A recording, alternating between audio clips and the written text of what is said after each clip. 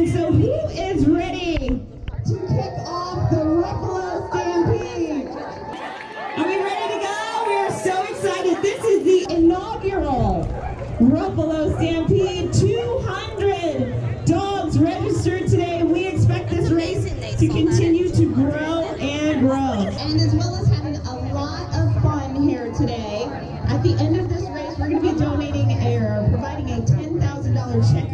Donation to the Buffalo Police Department for their canine division. So, how fabulous is that? We've been very well taken care of this morning by the Buffalo Police Department and the Erie County Sheriff's Office.